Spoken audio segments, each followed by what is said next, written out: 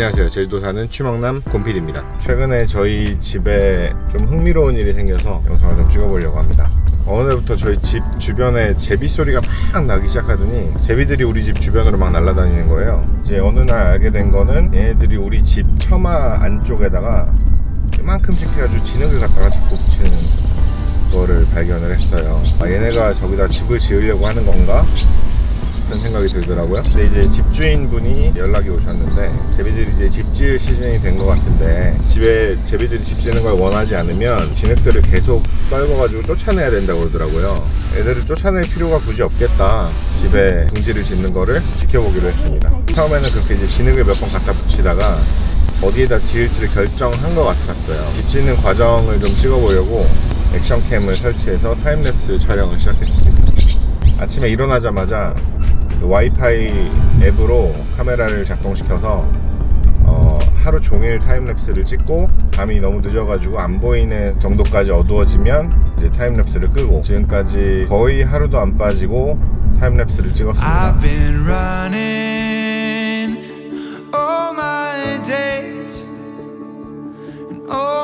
Troubles have found a better way. I've been trying to clear my head of all the useless words I never said. But oh, let's slow it down. Look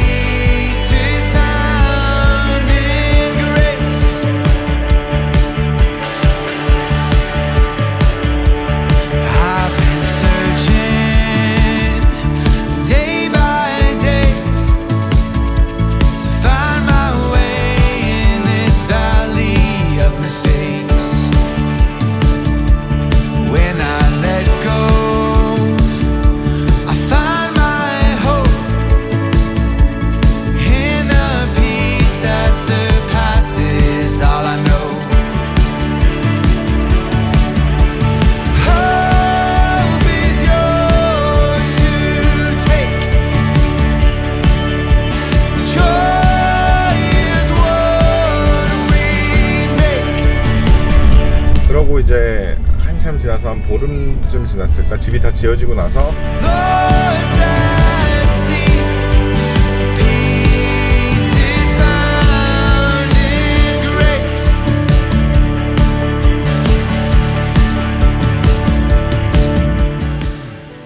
어미가 알을 낳기 시작하더라고요. 이제 하루에 하나씩 해서 한 알, 두 알, 세 알, 네 알에서 총네개 알을 낳는데 그 메추리 알보다 조금 작은 정도 그런 사이즈로 알을 낳더라고요. 그때부터는 이제 본격적으로 알을 품기 시작하고 알을 한참 품은 뒤에 이제 새끼들이 알을 까고 나왔는데